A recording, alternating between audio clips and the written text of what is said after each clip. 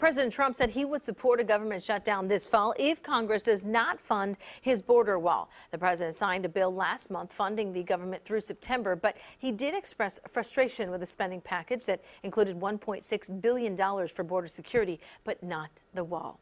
Meantime, as many as 200 California National Guard personnel are headed to the border as early as midweek.